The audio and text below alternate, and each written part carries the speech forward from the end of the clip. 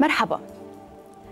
يلي بحب العسل بيصبر على عقص النحل. هيك بيقول المثل السكر ما بيقتصر على الإنسان فقط ولكن على النحل كمان. فمن خلال رحلاته بيتناول النحل مادة الأناثول المخدرة الموجودة ببعض الأنواع أنواع الثمار المخمرة فبيسكر وبيصير عنده نفس عوارض البشر. بالعودة لطقسنا شتوي متقلب عم بيسيطر على لبنان والحوض الشرقي للبحر الأبيض المتوسط الحرارة مرتفعة.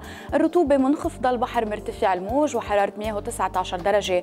ورح يتأثر طقسنا بكتل هوائية حارة رح تؤدي لارتفاع ملحوظ بدرجات الحرارة فوق معدلاتها السنوية بخمس درجات مع هبوب رياح قوية. حاملة غبار عم بتؤدي لسوء رؤية وبتنحسر هالكتل مساء مع احتمال تساقط أمطار خصوصي بالمناطق الشمالية مع انخفاض ملحوظ بدرجات الحرارة وارتفاع نسبة الرطوبة ورح يستمر الطقس متقلب عدة أيام. اليوم طقسنا غائم مع ارتفاع ملحوظ بدرجات الحرارة ممكن تتخطى 28 درجة على الساحل.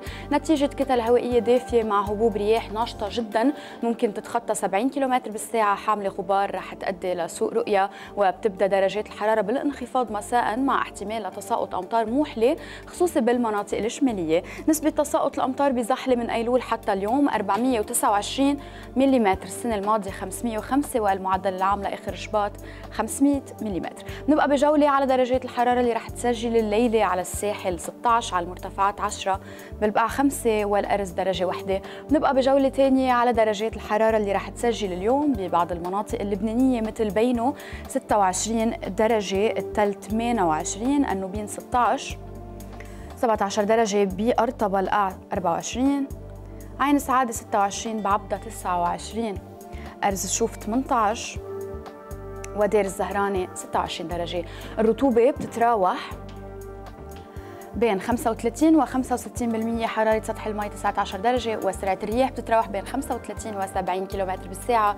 الرياح عم بتكون شمالية شرقية. كيف رح يكون طقسنا اليوم واليومين يلي جايين؟ نهار الخميس بتتراوح بين 16 و 29 درجة الجمعة بين 12 و 21 والسبت بين 12 و 20 درجة.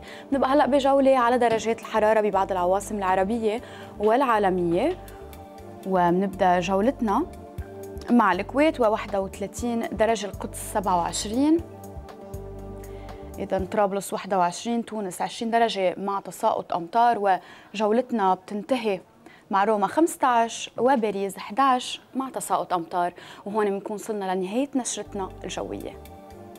thank you